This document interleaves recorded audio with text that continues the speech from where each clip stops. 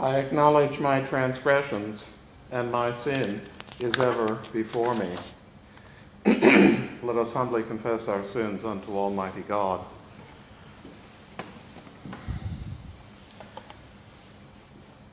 Almighty and most merciful Father, we have erred and strayed from thy ways like lost sheep. We have followed too much the devices and desires of our own hearts.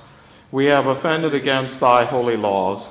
We have left undone those things which we ought to have done, and we have done those things which we ought not to have done, and there is no health in us. But thou, O Lord, have mercy upon us, miserable offenders. Spare thou those, O God, who confess their faults. Restore thou those who are penitent, according to thy promises declared unto mankind in Christ Jesus our Lord. And grant, O most merciful Father, for his sake, that we may hereafter live a godly, righteous, and sober life, to the glory of thy holy name. Amen. Almighty God, the Father of our Lord Jesus Christ, who desireth not the death of a sinner, but rather that he may turn from his wickedness and live, hath given power and commandment to his ministers to declare and pronounce to his people, being penitent, the absolution and remission of their sins. He pardoneth and absolveth all those who truly repent and unfeignedly believe his holy gospel. Wherefore let us beseech him to grant us true repentance and his Holy Spirit, that those things may please him which we do at this present, and that the rest of our life hereafter may be pure and holy, so that at the last we may come to his eternal joy, through Jesus Christ our Lord. Amen. Our Father, who art in heaven, hallowed be thy name. Thy kingdom come, thy will be done, on earth as it is in heaven. Give us this day our daily bread, and forgive us our trespasses, as we forgive those who trespass against us. And lead us not into temptation, but deliver us from evil. For thine is the kingdom, and the power, and the glory, forever and ever. Amen. O Lord, open thou our lips, and our mouth shall show forth thy praise. Glory be to the Father, and to the Son, and to the Holy Ghost. As it was in the beginning, is now, and ever shall be, world without end. Amen. Praise ye the Lord. The Lord's name be praised. Christ, the King of angels, O come, let us adore him. O come, let us sing unto the Lord. Let us heartily rejoice in the strength of our salvation. Let us come before his presence with thanksgiving, and show ourselves glad in him with psalms. For the Lord is a great God, and a great King above all gods. In his hand are all the corners of the earth, and the strength of the hills is his also. The sea is his, and he made it, and his hands prepared the dry land. O come, let us worship and fall down, and kneel before the Lord our Maker. For he is the Lord our God, and we are the people of his pasture, and the sheep of his hand. Today, if ye will hear his voice, harden not your hearts, as in the provocation, as in the day of temptation in the wilderness. When your fathers tempted me, proved me, and saw my works. Forty years long was I grieved with this generation, and said, It is a people that do err in their hearts, for they have not known my ways. Unto whom I swear in my wrath, that they should not enter into my rest. Glory be to the Father, and to the Son, and to the Holy Ghost. As it was in the beginning, is now, and ever shall be, world without end. Amen. Christ, the King of angels, O come, let us adore him. I will always give thanks unto the Lord. His praise shall ever be in my mouth. My soul shall make her boast in the Lord. The humble shall hear thereof and be glad. O praise the Lord with me, and let us magnify his name together. I sought the Lord, and he heard me. Yea, he delivered me out of all my fear. They had an eye unto him, and were lightened, and their faces were not ashamed. Lo, the poor crieth, and the Lord heareth him. Yea, and saveth him out of all his troubles. The angel of the Lord tarrieth round about them that fear him, and delivereth them. O taste and see how gracious the Lord is, Blessed is the man that trusteth in him. O fear the Lord, ye that are his saints, for they that fear him lack nothing. The lions do lack and suffer hunger, but they who seek the Lord shall want no manner of thing that is good. Come, ye children, and hearken unto me. I will teach you the fear of the Lord. What is man that lusteth to live? And who would fain see good days? Keep thy tongue from evil, and thy lips that they speak no guile. Eschew evil and do good. Seek peace and ensue it. The eyes of the Lord are over the righteous, and his ears are open unto their prayers. The countenance of the Lord is against them that do evil, to root out the remembrance of them from the earth. The righteous cry, and the Lord heareth them, and deliver them out of all their troubles. The Lord is nigh unto them that are of a contrite heart, and will save such as be of an humble spirit. Great are the troubles of the righteous, but the Lord delivereth him out of all. He keepeth all his bones, so that not one of them is broken. But misfortune shall slay the ungodly, and they that hate the righteous shall be desolate. The Lord delivereth the souls of his servants, and all they that put their trust in him shall not be destitute. Glory be to the Father, and to the Son, and to the Holy Ghost. As it was in the beginning, is now, and ever shall be, world without end. Amen.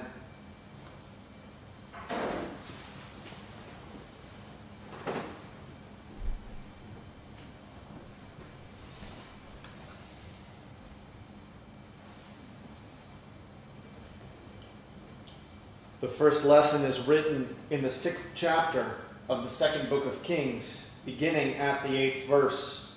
The prophet protected by the angels of the Lord. In those days, the king of Syria warred against Israel and took counsel with his servants, saying, In such and such a place shall be my camp. And the man of God sent unto the king of Israel, saying, Beware that thou pass not such a place, for thither the Syrians are come down. And the king of Israel sent to the place which the man of God told him, and warned him of, and saved himself there, not once nor twice.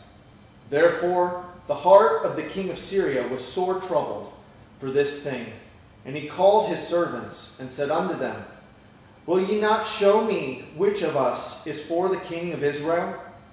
And one of his servants said, None, my lord, O king, but Elisha, the prophet that is in Israel, telleth the king of Israel the words that thou speakest in thy bedchamber. And he said, Go and spy where he is, that I may send and fetch him. And it was told him, saying, Behold, he is in Dothan. Therefore sent he thither horses and chariots, and a great host. And they came by night, and compassed the city about. And when the servant, the man of God, was risen early, and gone forth, behold, an host compassed the city both with horses and chariots. And his servant said unto the prophet, Alas, my master, how shall we go? And he answered, Fear not, for they that be with us are more than they that be with them. And Elisha prayed and said, Lord, I pray thee, open his eyes, that he may see. And the Lord opened the eyes of the young man, and he saw. And behold, the mountain was full of horses and chariots of fire round about Elisha. Here endeth the first lesson.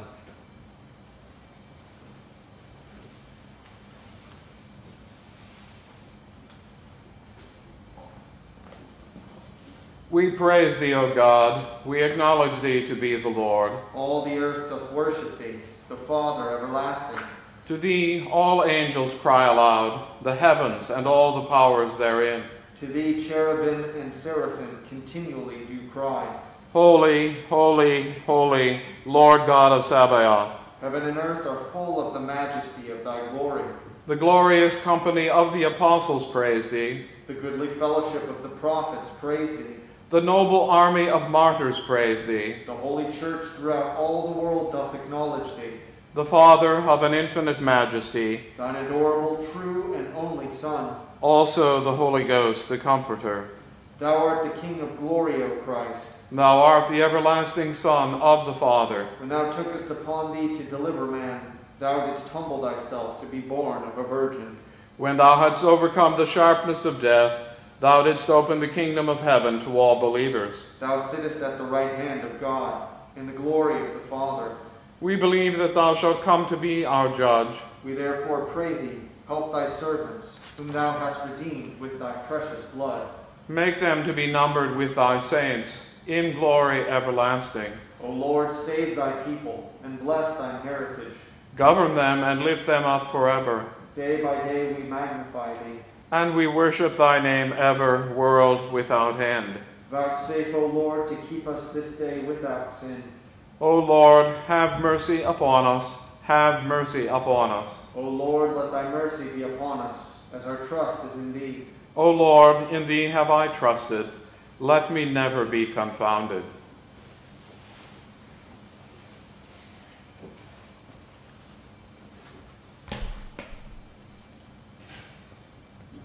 The second lesson is written in the 12th chapter of the book of the Acts of the Apostles, beginning at the first verse. Peter delivered from prison by an angel of the Lord. In those days, Herod the king stretched forth his hand to vex certain of the church, and he killed James, the brother of John, with the sword. And because he saw it pleased the Jews, he proceeded further to take Peter also. Then were the days of unleavened bread. And when he had apprehended him, he put him in prison, and delivered him to four quaternions of soldiers to keep him, intending after Easter to bring him forth to the people. Peter therefore was kept in prison, but prayer was made without ceasing of the church unto God for him. And when Herod would have him brought forth, the same night Peter was sleeping between two soldiers, bound with two chains and the keepers before the door kept the prison. And behold, the angel of the Lord came upon him, and a light shined in the prison.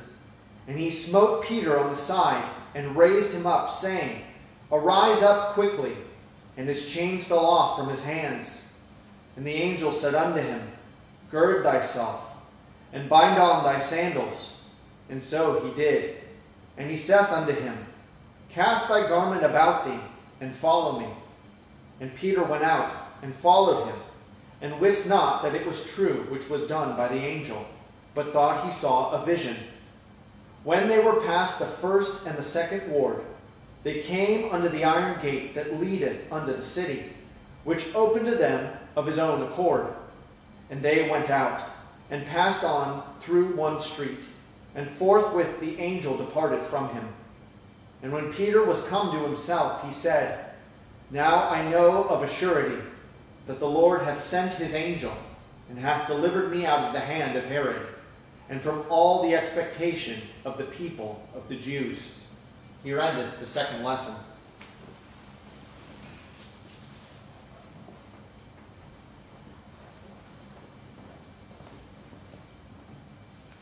Blessed be the Lord God of Israel, for he hath visited and redeemed his people, and hath raised up a mighty salvation for us in the house of his servant David, as he spake by the mouth of his holy prophets, which have been since the world began, that we should be saved from our enemies and from the hand of all that hate us, to perform the mercy promised to our forefathers, and to remember his holy covenant, to perform the oath which he sware to our forefather Abraham, that he would give us, that we, being delivered out of the hand of our enemies, might serve him without fear. in holiness and righteousness before him all the days of our life.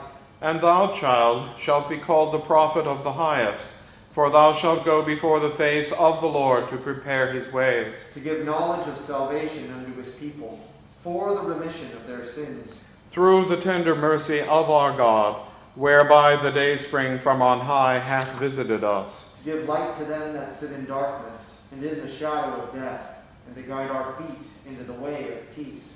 Glory be to the Father, and to the Son, and to the Holy Ghost, As it was in the beginning, is now, and ever shall be, world without end. Amen. The Lord be with you. And with thy spirit. Let us pray.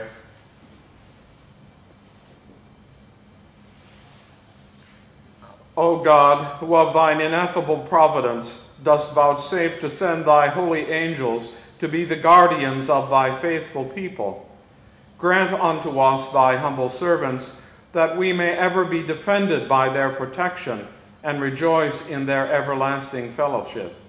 Through Jesus Christ, thy Son, our Lord, who liveth and reigneth with thee in the unity of the Holy Ghost, one God, world without end. Amen. O God, who art the author of peace and lover of concord, in knowledge of whom standeth our eternal life, whose service is perfect freedom, defend us, thy humble servants, in all assaults of our enemies, that we, surely trusting in thy defense, may not fear the power of any adversaries, through the might of Jesus Christ our Lord. Amen. O Lord, our heavenly Father, almighty and everlasting God, who hast safely brought us to the beginning of this day, defend us in the same with thy mighty power, and grant that this day we fall into no sin, neither run into any kind of danger, but that all our doings being ordered by thy governance may be righteous in thy sight. Through Jesus Christ our Lord. Amen.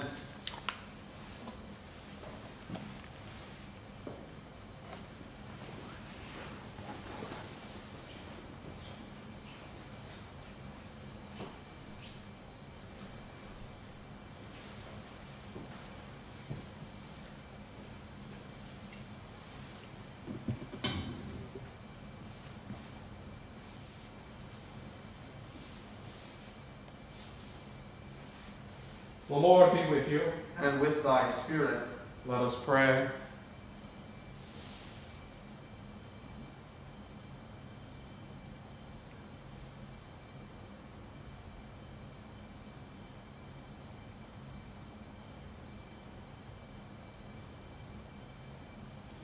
Almighty God, unto whom all hearts are open, all desires known, and from whom no secrets are hid, cleanse the thoughts of our hearts by the inspiration of thy Holy Spirit, that we may perfectly love thee and worthily magnify thy holy name, through Christ our Lord. Amen.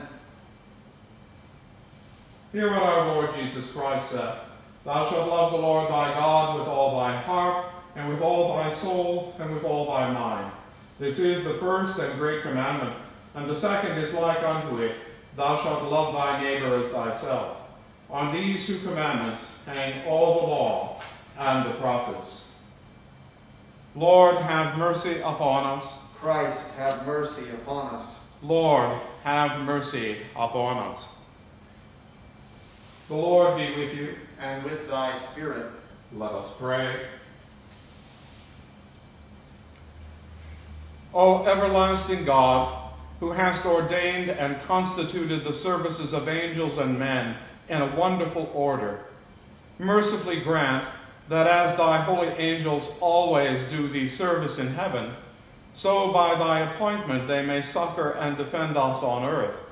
Through thy Son, Jesus Christ our Lord, who liveth and reigneth with thee in the unity of the Holy Ghost, one God, world without end. Amen. The lesson appointed for the epistle is taken from the 12th chapter of the Revelation to St. John the Divine, beginning at the seventh verse.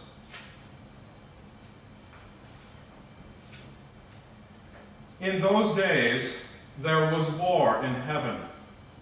Michael and his angels fought against the dragon, and the dragon fought and his angels, and prevailed not. Neither was their place found any more in heaven. And the great dragon was cast out, that old serpent called the devil, and Satan, which deceiveth the whole world. He was cast out into the earth, and his angels were cast out with him. And I heard a loud voice saying in heaven, Now is come salvation and strength and the kingdom of our God and the power of his Christ. For the accuser of our brethren is cast down, which accused them before our God day and night. And they overcame him by the blood of the Lamb and by the word of their testimony. And they loved not their lives unto death. Therefore rejoice, ye heavens, and ye that dwell in them. Woe to the inhabitants of the earth and of the sea. For the devil is come down unto you, having great wrath, because he knoweth that he hath but a short time. Here endeth the lesson.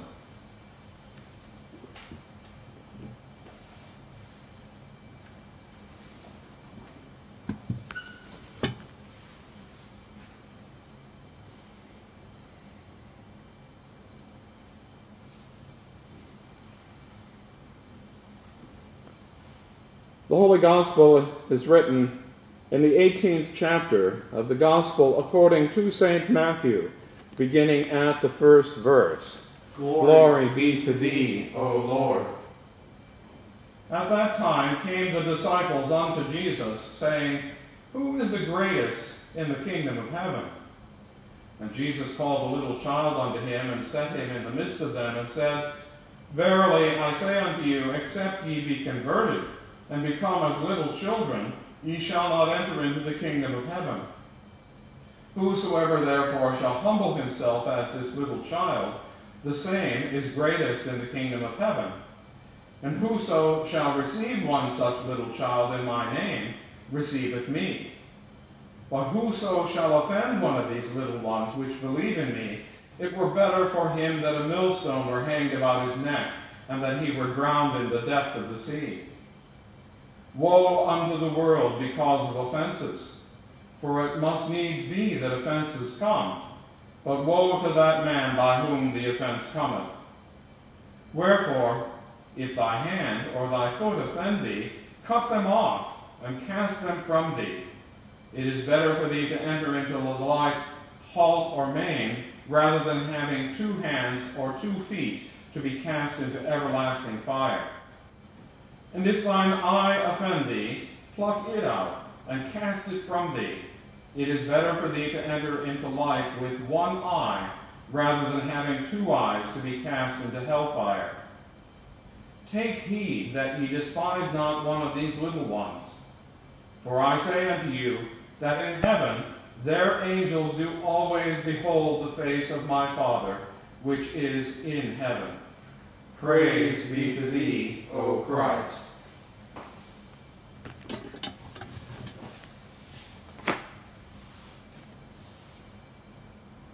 I believe in one God, the Father Almighty, maker of heaven and earth, and of all things visible and invisible, and in one Lord Jesus Christ, the only begotten Son of God, begotten of his Father before all worlds, God of God, light of light, very God of very God, begotten, not made, being of one substance with the Father, by whom all things were made, who for us men and for our salvation came down from heaven, and was incarnate by the Holy Ghost of the Virgin Mary, and was made man, and was crucified also for us under Pontius Pilate.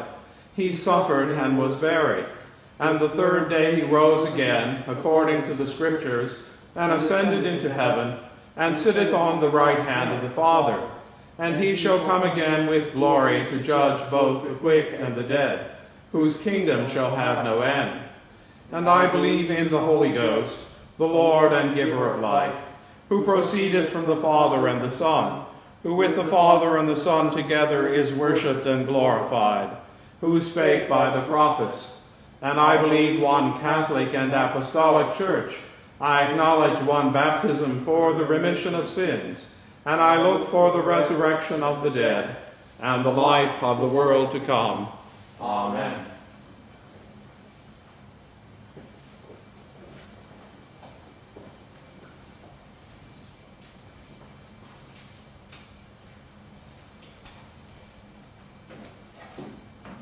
In the name of the Father, and of the Son, and of the Holy Ghost. Amen. Over the ages, uh, preachers and teachers have struggled with the task of trying to explain the Holy Trinity, the nature of God in three persons. And there have been various uh, systems or diagrams or outlines or even graphics, pictures, if you will, of how the Holy Trinity might be presented. Of course, the, the standard one, which appears frequently in Holy Scripture and in all of our liturgies and uh, in the images and uh, the, the ideas that we have in our mind, is Father, Son, and Holy Ghost, or Father, Son, and Holy Spirit. It's a complicated issue, and uh, if you want to see how complicated it can be, all you need to do is find a copy of the Athanasian Creed and read it through a couple times. And if you understand it any better after reading it several times, you're a better person than I am. Others have uh, offered other diagrams or other ways of understanding the Holy Trinity. Uh, in place of the Father, they say it's the mind of God or the thoughts of God. And in the place of the Son, they speak of the Word, which is, of course, very biblical. And in the place of Holy Ghost or Holy Spirit, they speak of the will or the work of God. I was very lucky in my early ministry to know Brother David, who at one time was the Superior General of the Franciscans, the Anglican Franciscans worldwide. And he said that the common way the Franciscans described the Holy Trinity was lover, beloved, and ground of love. God the Father being the lover of all things, and through love he made things, that God the Son, or the Word of God, is the beloved, the object of God the Father's love, and that the Holy Spirit is the ground of love, the love that passes between the two of them, and that overflows into all of creation. Using the same gifts of uh, symbolism and analogy that lead people to make the, those uh, unusual descriptions of the Holy Trinity and the standard description of Father, Son, and Holy Ghost, uh, others have taken it a step further and tried to explain the existence of angels as being a manifestation or an appearance of the Holy Spirit. Well, on first glance, that uh, looks like a promising description. Uh, angels, in most of the stories that we have of angels, are doing God's work. They're called in Holy Scripture ministering spirits.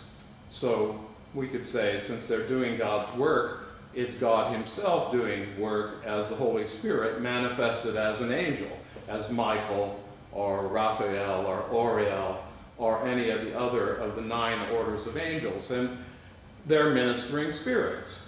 They're God ministering to the rest of His creation. However, that uh, description breaks down as any minor theologian might tell you. And all you need do is look again at the lesson from the Revelation to St. John that we heard read in morning prayer, or that we heard read as the lesson at uh, the Antecommunion. There was war in heaven. God cannot war against himself. And if the angels are merely manifestations of the third person of the Holy Trinity, how can you explain there being war in heaven between the angels of God and the angels of a disobedient and uh, cast out angel named Lucifer or Satan or the great dragon as John refers to him in the revelation to St. John the Divine. No, Angels are not a manifestation of God or an appearance of God or an epiphany of God, although in essence they are God's ambassador, they are God's representative, they bring God in his fullness, just as the ambassador to Japan takes the authority of the United States government to Japan in all its truth and all its power. Now, angels are creatures. They were made by God to be his ministers. And like human beings, they also were given free will. They were made before us, but not given the same status in creation as human beings. As it says many times in, in, in Holy Scripture, God made the angels a little lower than man. A little lower in the sense that man is his beloved creature. Man has been adopted and championed as sons and daughters of God. The angels were given free will, and Lucifer, the most glorious and the most beloved, the most luminous, the most beautiful of all the angels, took his free will and decided to follow it on his own and not the will of God. Not to do God's ministration, but his own. And the war broke out in heaven the first time, and Satan was cast out and into this world where, indeed, he brought disobedience, the essence of evil, the full nature of sin. He passed it on to Eve and to Adam and to each and every one of us in original sin. It's good for us to hear this lesson and to know and to acknowledge that the angels are creatures and that evil exists in this world because of their disobedience and our following that disobedience. It's good to know that there's war in heaven and to know that the war that we participate in in this world in trying to overcome sin and to embrace the fullness of life in Christ Jesus our Lord is an explanation of why there is evil in the world. We see the angels so often as protectors and as deliverers, as those bringing the word of God as brought to Mary that she would bear a son, as those who in ultimate truth and in the fullness of time will actually slay Satan as is shown in so many of the artistic renderings of St. Michael, killing Satan, killing the devil and the cast out angel. On this day, we acknowledge the angels who were faithful. We acknowledge the chief of the angels, St. Michael, and all those who follow him. And we recognize that we are protected, that we are enlightened, and we are delivered by them. On this day, I ask that you remember all churches and all institutions under the name and title and protection of St. Michael and all angels. Amen.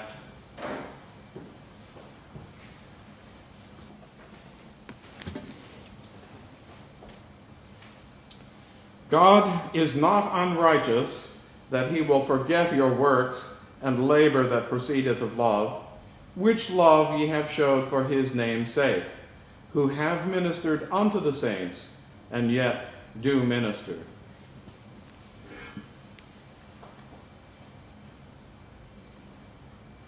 I bid your prayers for this world, that we acknowledge and proclaim the truth that God's ministering angels uh, carry out their work and their office in all corners of this world, not just in the faithful and Christian world and in church congregations and among Christian families, but in all the places in which humans dwell. As the angels led Cyrus to do the work of God in ancient history, so too we know that God is working in all the manifestations of human power and human relationships. I bid your prayers for the church, acknowledging that we who are called to be ministers look to the angels for guidance and for examples of how we might do that ministry. And I bid your prayers for the repose of the souls of the faithful departed. Rest eternal grant unto them, O Lord, and, and let light perpetual shine upon them. May they rest in peace. Amen. Let us pray for the whole state of Christ Church. Almighty and ever-living God, who by thy holy apostle hast taught us to make prayers and supplications, and to give thanks for all men, we humbly beseech thee most mercifully to receive these our prayers, which we offer unto thy divine majesty, beseeching thee to inspire continually the universal church with the spirit of truth, unity, and concord, and grant that all those who confess thy holy name may agree in the truth of thy holy word, and live in unity and godly love. We beseech thee also so to direct and dispose the hearts of all Christian rulers, that they may truly and impartially administer justice to the punishment of wickedness and vice, and to the maintenance of thy true religion and virtue. Give grace, O Heavenly Father, to all bishops and other ministers, that they may both by their life and doctrine set forth thy true and lively word, and rightly and duly administer thy holy sacraments. And to all thy people give thy heavenly grace, and especially to this congregation here present, that with meek heart and due reverence they may hear and receive thy holy word, truly serving thee in holiness and righteousness all the days of their life. And we most humbly beseech thee of thy goodness, O Lord, to comfort and succor all those who in this transitory life are in trouble, sorrow, need, sickness, or any other adversity.